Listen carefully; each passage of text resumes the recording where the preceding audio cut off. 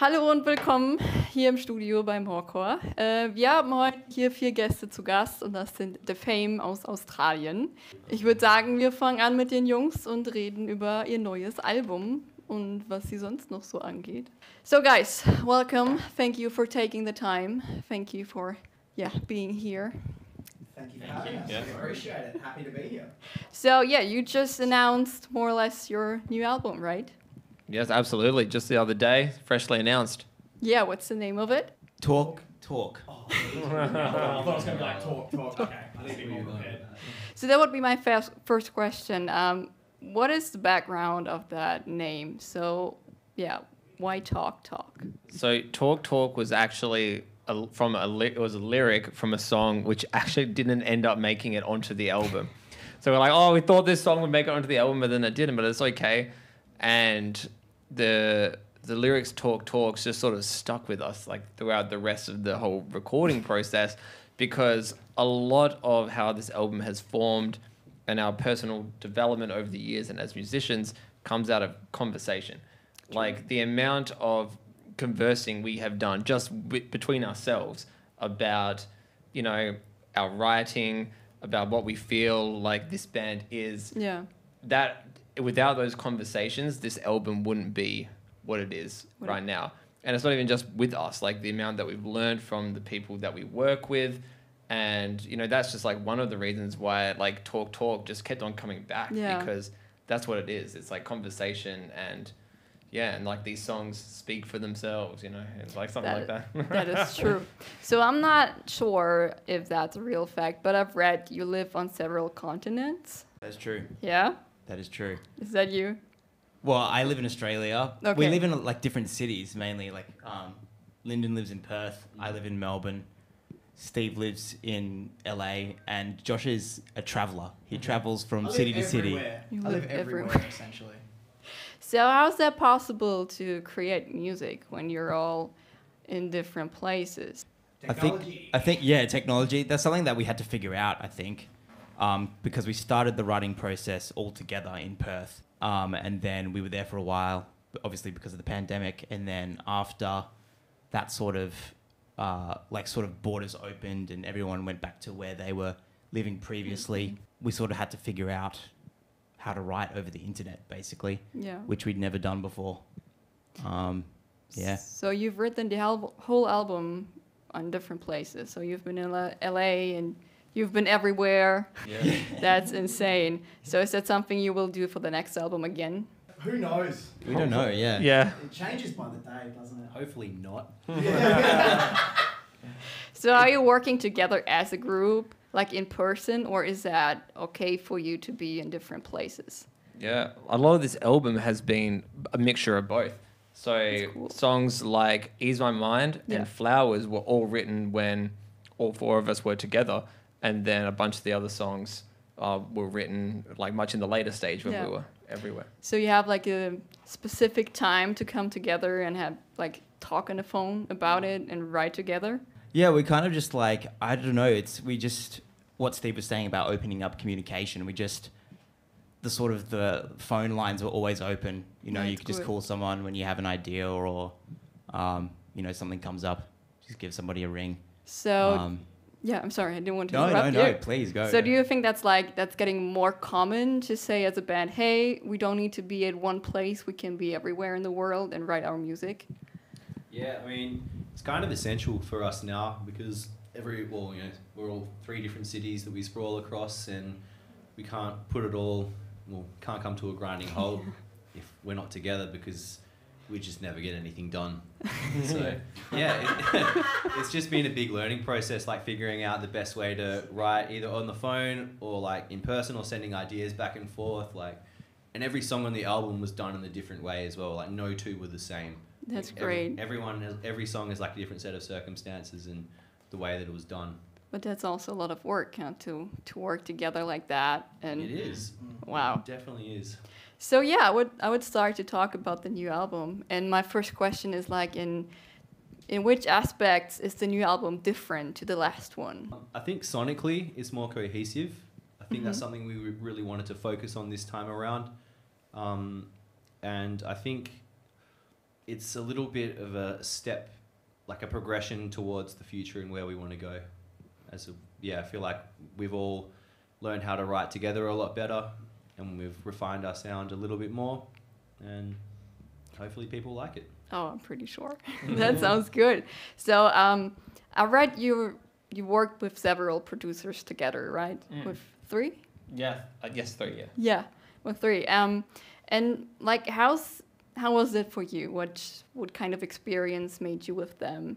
Is there any special moment you had with a producer?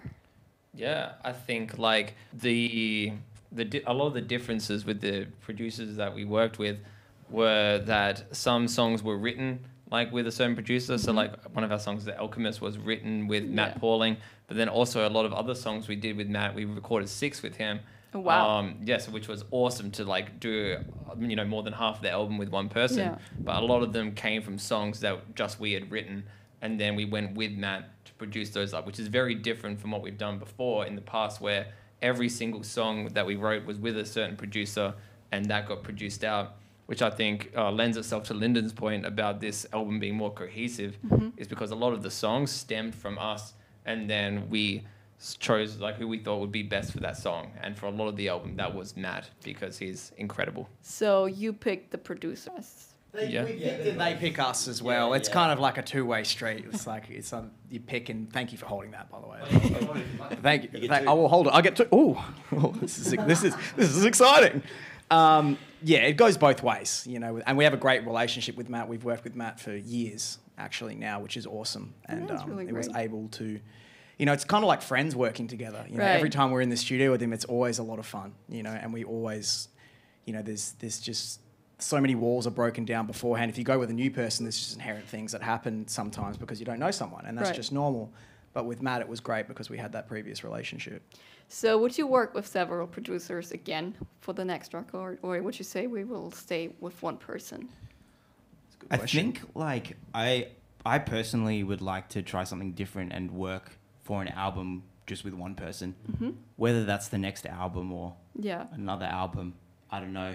Um, Let's. I guess it's hard when we all live in different spots, Yeah, but if we if we if we're all together at some point, that would be fun. I mean, you have enough time. You have Yeah. enough time to try it out. Yeah, exactly. Yeah, we'll see.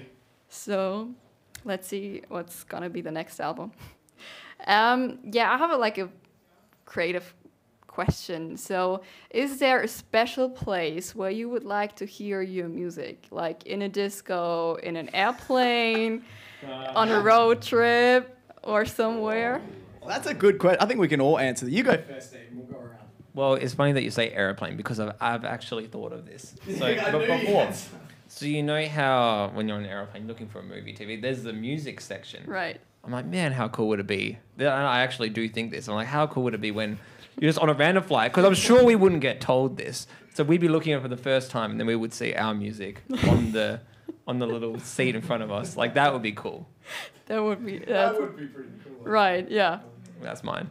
God, I don't think I can top Steve's. That's pretty funny. Um, oh, I don't. I'm not too sure. I'm honestly just happy to hear our music anywhere. Really, you know, it's, it's always exciting. Aww. It's never something. It's never something. Yeah, here we go. Typical vocalist, just covering all bases.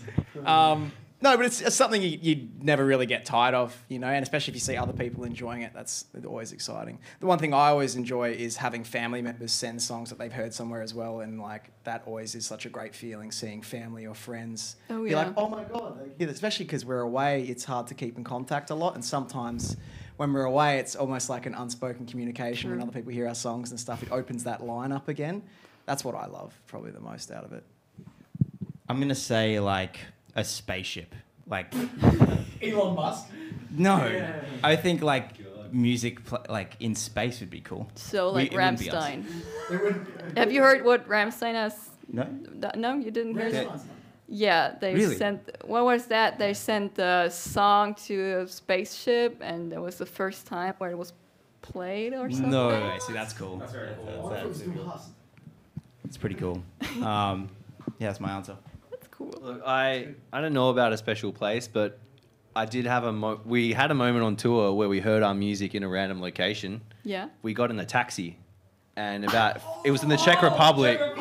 And about five minutes into the ride, I was in the I was with Josh. I think our tour manager. I can't remember who else, but yeah, "Summer Is a Curse" came on the radio, and we were like, We didn't "What notice the it. hell?" We realised halfway through. That's Yeah. right. So that's that's a really I don't know. I find it strange when you hear it's like, oh, there's Josh singing on, on the Czech Republic car radio. Like, what is going on? weird coincidence. Yeah. Oh yeah, that is true. That's so funny actually. That reminds me of the one oh That's my, my, um, just this is just off Linden's story.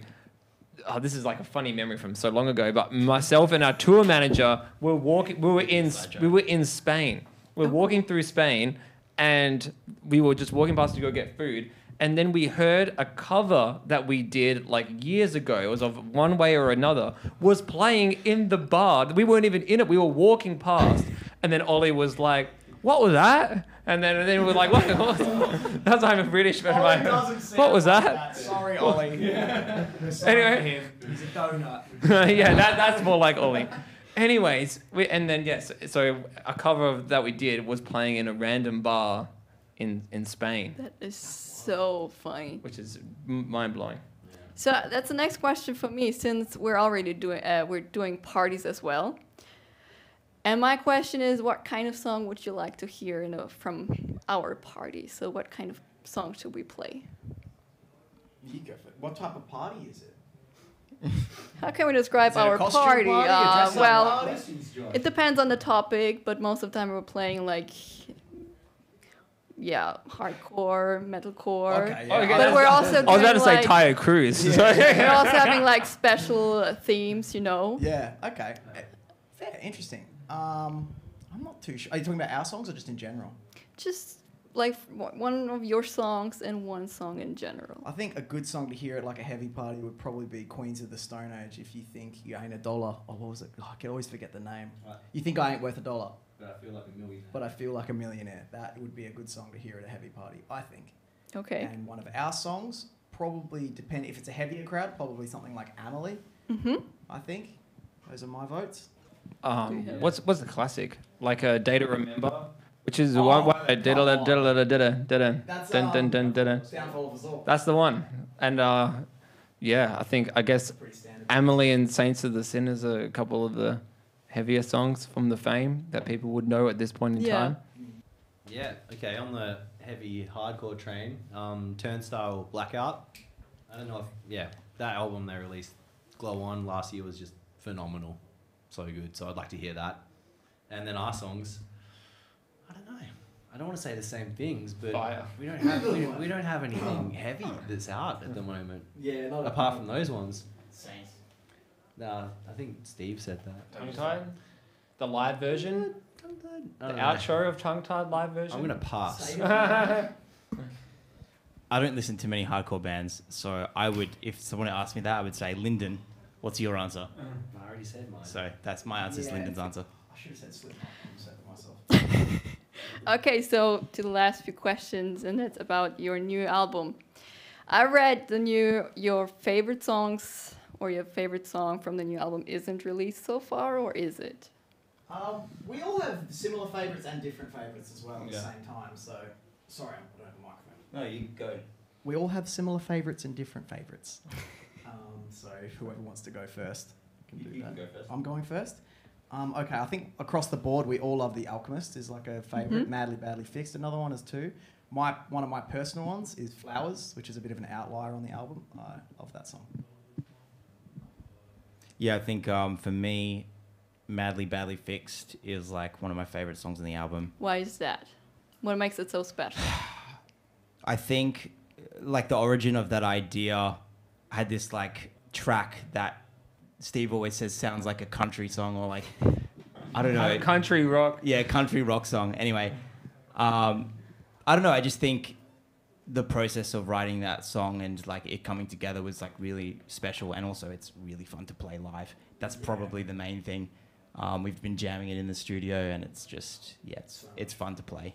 Um, and yeah, Flowers is special as well, just because that was like early on in the process of writing, um, and it is a quite a unique song, uh, or it's like an outlier compared to the others. And then The Alchemist would be in my top three, just because I love that song. Pressure's on, baby. Um, yeah, gosh, I have so many favorites on the album. It like obvi- it really like does ebbs and flows depending on the mood. Madly Badly Fixed, definitely one of my faves. I do really love Life in a Cinema. There's this uh, it's a track which has been through a couple of different changes here here and there. Um, and look, also this is there's one song that Sam was really batting for on the album, Faith in Me. Oh, yeah. I keep coming back to it all the time, and it's the most different. So like people say the Alchemist sounds like so different compared Yeah. to some- something. You wait till you hear Faith in Me. That's like a whole new flavor, which I never thought the Faim would release. I didn't think we could release something like that. interesting. So that's one to look out for. So why is that so special?